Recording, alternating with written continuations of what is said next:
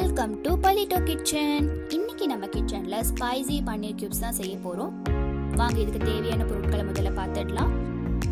முந்நூறு கிராம் பன்னீர் ரெண்டு table spoon தயிர் ஒரு டீஸ்பூன் மிளகாய்த்தூள் ஒரு டீஸ்பூன் மல்லித்தூள் ஒரு டீஸ்பூன் சீரகத்தூள் அரை டீஸ்பூன் கரம் மசாலா கால் டீஸ்பூன் மஞ்சள் தூள் மூணு டீஸ்பூன் இஞ்சி பூண்டு சாறு பாதி எலுமிச்சை தேவையான அளவு ஒரு டீஸ்பூன் மிளகுத்தூள் ஒரு டேபிள் ஸ்பூன் வெண்ணெய் ஒரு டீஸ்பூன் எண்ணெய். வாங்க இப்போ நம்ம எப்படி செய்யறதுன்னு பார்க்கலாம்.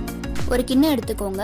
அதில் ரெண்டு டேபிள் ஸ்பூன் தயிர் எடுத்துக்கலாம். இதில் இப்போ நம்ம ஒரு டீஸ்பூன் மிளகாய்த்தூள் மல்லித்தூள் சீரகத்தூள் கால் டீஸ்பூன் கரம் மசாலா கால் டீஸ்பூன் மஞ்சள் தூள் தேவையான அளவு உப்பு சேர்த்துடலாம்.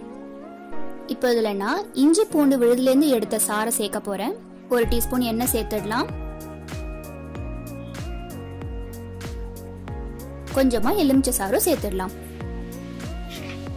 எல்லாத்தையும் இப்போ நல்லா கலந்து விட்டுருங்க. கூடவே ஒரு டீஸ்பூன் மிளகு தூளியும் சேர்த்து நல்லா கலந்துடலாம்.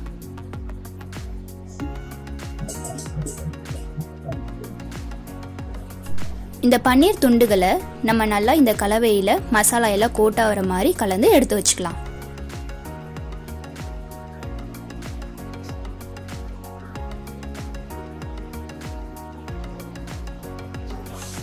இருபதுலேருந்து முப்பது நிமிஷம் போல் நல்லா ஊறட்டும். இப்போ ஒரு கடாயில் ஒரு டேபிள் ஸ்பூன் வெண்ணெய் சேர்த்துடலாம். இப்போ இந்த பன்னீர் துண்டுகளை தனித்தனியாக வச்சு ரெண்டு சைடாக நல்லா குக் பண்ணி எடுத்துக்கலாம்.